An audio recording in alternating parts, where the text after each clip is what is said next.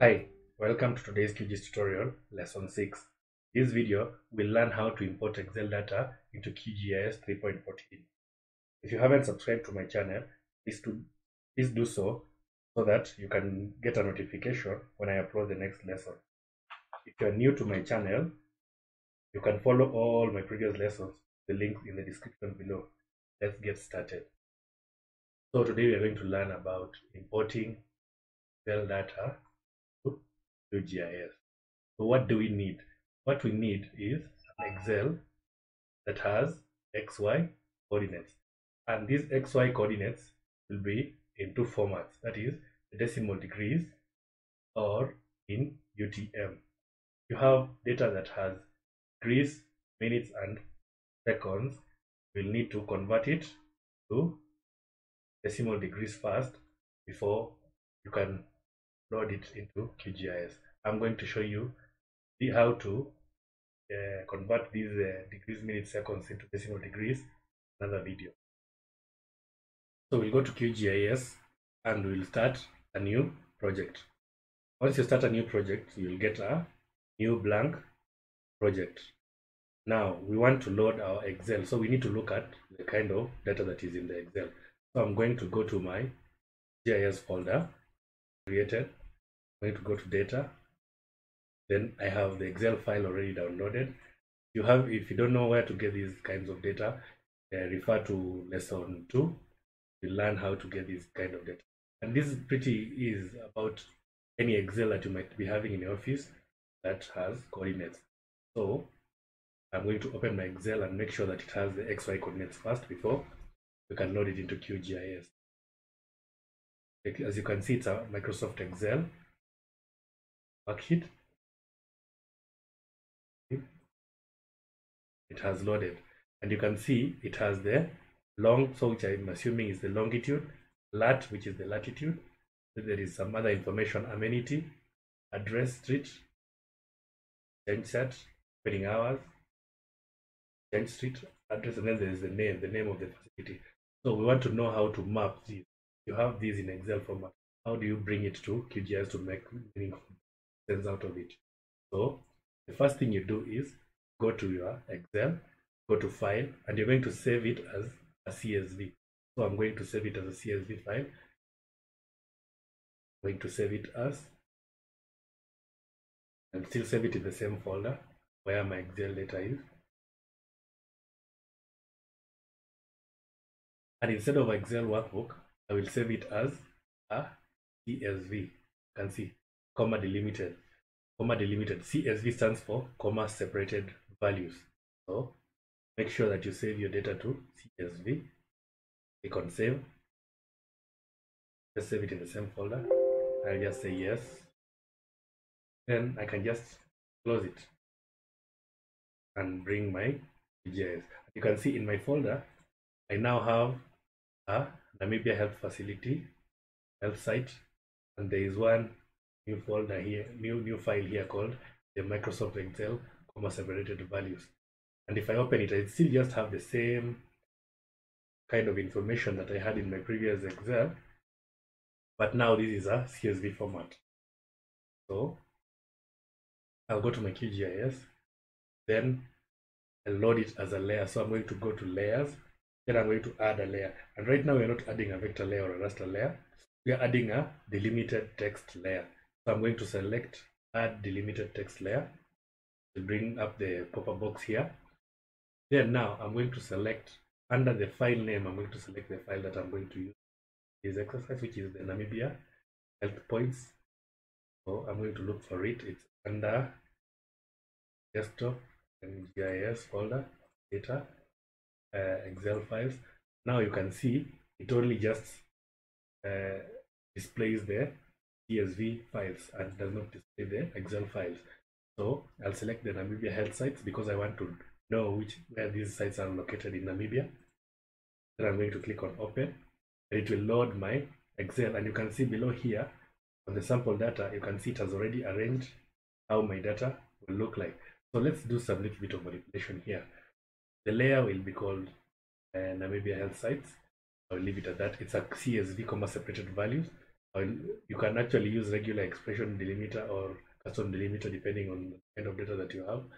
So I'll come to record uh, field options. I'll not uh, delete anything here. You can actually discard empty fields. If you have an empty field that you want to discard in your, in your Excel, you can just discard it there. I'll not do anything there. Then here there is the geometry definition. The geometry definition it's a point layer. So I'm going to select point. Now under the X field, I'm going to select what? What is the X field? X field is the longitude. So I'm going to select the longitude. So make sure you select the longitude. And the Y field is the latitude. So I'm going to select the latitude. In other in other instances, you'll find that when you put just uh, put the Excel, it automatically picks up the X field and Y field.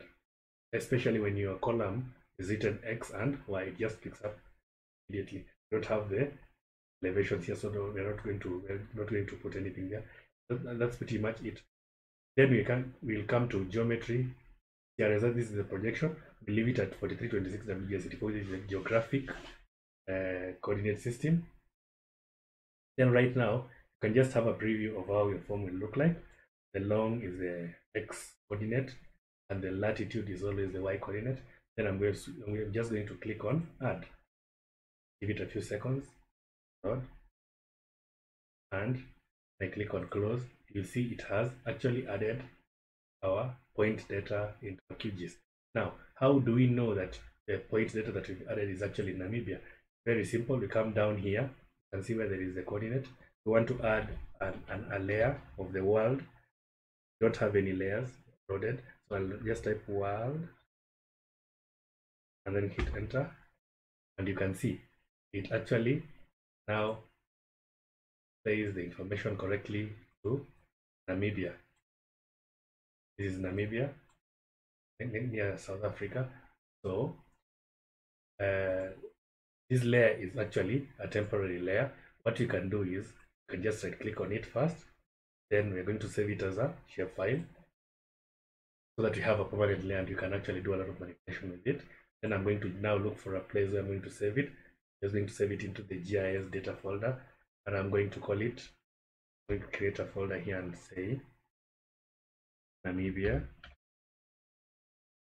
data and I'm going to call it health sites. Going to save it as an SC file. And, and then I click on OK and make sure that I check this add saved file to map. And, okay. and you will see it will add now the help sites here.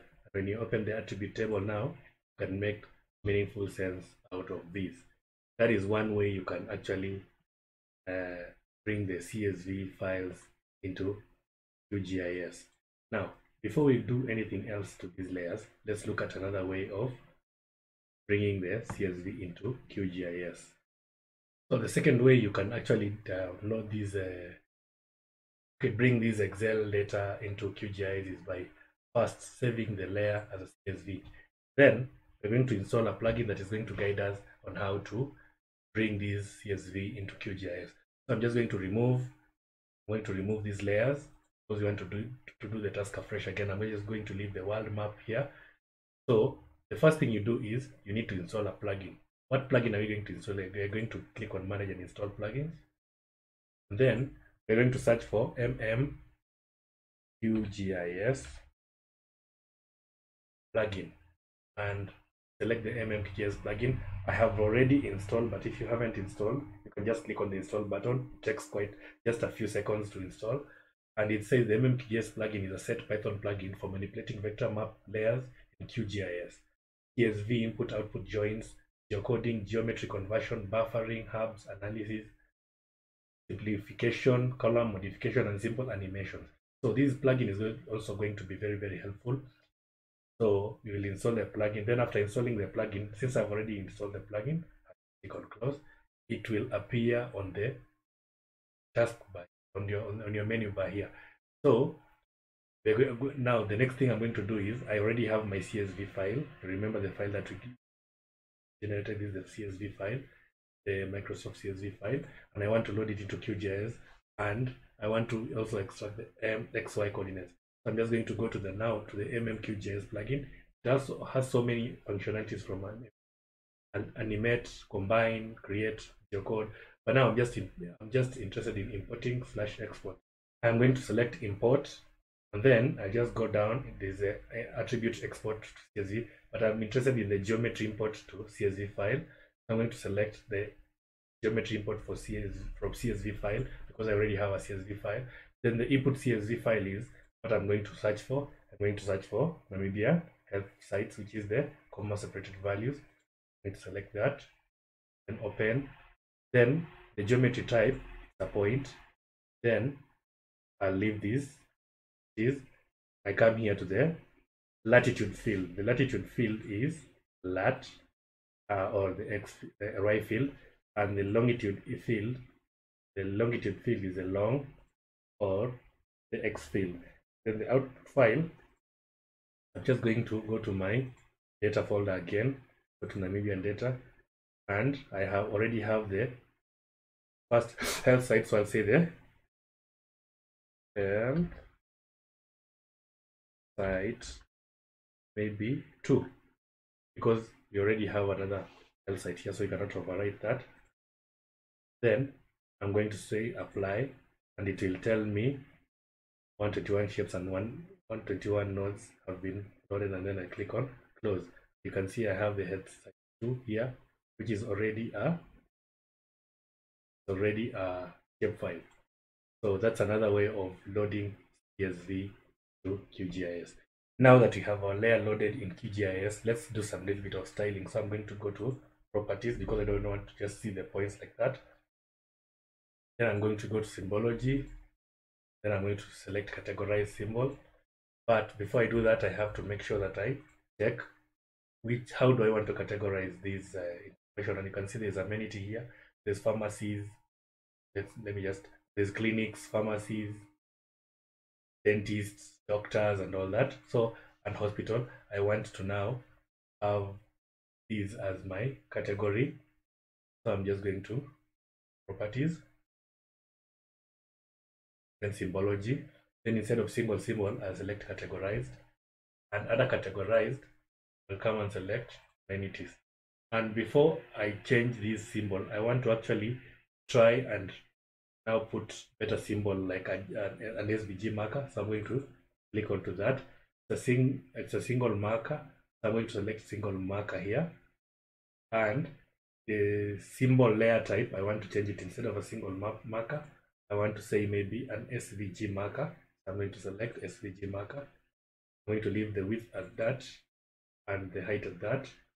Then what SVG marker am I selecting? I just go just scroll down here and there are so many SVG markers from accommodation, if you want to, uh, accommodation icons, amenities, there are arrows here, there is the background, components, process, emergency for hospitals and fire, entertainment where there is a pizza place or where you can get a drink, food, you can eat something.